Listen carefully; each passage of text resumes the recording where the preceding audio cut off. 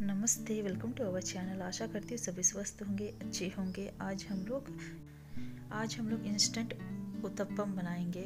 ऐसे तो आप लोगों को सभी को उत्तपम के हर एक रेसिपी पता है, लेकिन मैं इंस्टेंट उत्तपा बना रहे बता रही हूँ। इसे हम सूजी से बनाएँगे। मैंने आधा कप तक सूजी लिया है और आधा कप दही डालेंगे और इसे अच्छी तरह से एक बार मिक्स कर लेंगे।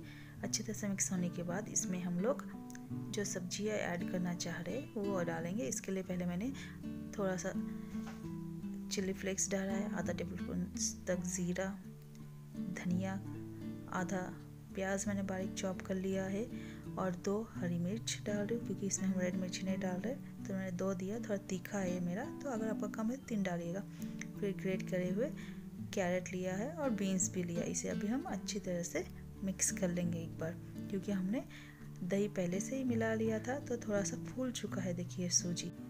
इसमें आधा कप तक हमने पानी डाला है और इसे अच्छी तरह से मिक्स कर लेंगे। पहले तो हम आधा कप लगेगा, फिर पूरी रेसिपी में आपको करीबन एक कप तक लग जाएगा। मतलब एक कप तक पानी और आधा कप तक दही में यूज़ कर रही हूँ। अगर आप दही अवॉइड करना चाहते पूरा पानी से बना सकते हैं। और इसमें एक चौथाई तक मैं इसमें चावल का आटा डाल रही हूँ और इसे भी अच्छी तरह से मिक्स कर लेंगे हम।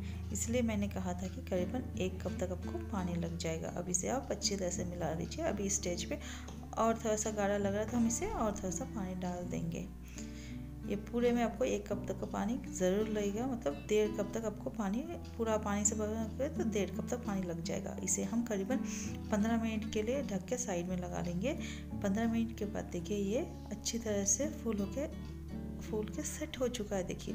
और थोड़ा टाइट भी लग रहा है, क्योंकि सूजी फूल चुके तो अब इसमें हम करीबन दो से तीन टेबल स्पून तक पानी डाल के इसे बैटर को थोड़ा लूज़ कर लेंगे। जिससे हमें पैन में फैलाने के लिए ईजी हो। मेरे चैनल को इसी तरह से सपोर्ट करते रहिए। अगर आप मेरे चैनल पे नए हो तो प्लीज़ लाइक और शेयर ज़रूर कीजिएगा। और कमेंट करके ज़रूर बताइएगा कि आपको ये रेसिपी कैसी लगी है। चलिए अब रेसिपी में हमने एक पैन ले लिया है। इससे मैंने आधा टेबल स्पून तक ऑयल डाला है। उस गर्म होते ही उसे बीच में हम बैटर को डालेंगे और फैला देंगे। और करीबन एक से डेढ़ मिनट के लिए हम ढक देंगे इसे। और आपको साइड में जब भी क्रिस्पीपन ऐसा दिखाई देगा, तब समझ लेना है कि नीचे हम लोगों का बेक हो चुका है करीबन। तो हम इसे फिर से पलट देंगे और इसे भी हम एक से डेढ़ मिनट के लिए ढक देंगे, जिससे अच्छी तरह से दोनों साइड से कुक हो जाए। ये रेसिपी बनाने के लिए आपको ज़्यादा मेहनत की नहीं और ज़्यादा आपको टाइम भी नहीं लगेगा। अचानक कभी कोई मेहमान आ गए तो आप इस तरह का टिफ़िन बना के उन्हें खिला सकते ये देखिए, ये इस तरह से जब ब्राउनिश कलर हो जाए, तब आप देखिए कि आपका पक चुका अंदर भी अच्छी तरह से पक जाता है। और इसमें हम लोग ना ही इनो ऐड किया है, ना ही सोडा अगर आप इसमें थोड़ा सा हल्का सा सोडा भी अगर आप खा सकते हैं तो थोड़ा सा सोडा ऐड करते हैं तो ये फ्लफ़ी ज़्यादा बनेगा और भी। चलिए, इसी तरह से मैं और एक आपको बना के दिखा रही हूँ। सेम मैंने उसी पैन पे ऑयल डाल के आधा टेबल स्पून तक गर्म करके बीच में करीबन तीन टेबल स्पून तक का मैंने बैटर को डाला है और इसे अच्छी तरह से हिला रही हूँ मैं। अगर आपको मिक्स करना नहीं आ रहा तो पैन को पकड़ के हल्का सा इसे शेक कर लीजिएगा तो ये चारों तरफ़ अच्छी तरह से फैल जाएगा। फिर से हम इसे डेढ़ मिनट तक पका लेंगे और इसे पलट देंगे हम, देखिए।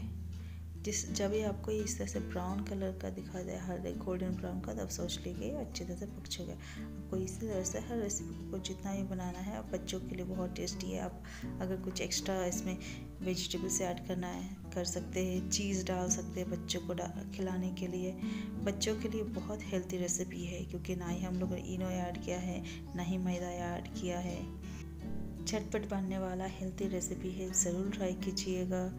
हंड्रेड परसेंट गारंटी देते हैं। आपको ज़रूर बहुत पसंद आएगा। ये देखिए कितना अच्छा फिर भी सॉफ्ट और फ्लफी बनाए। हमें ज़्यादा से ज़्यादा दस से पंद्रह मिनट ही लगाए। है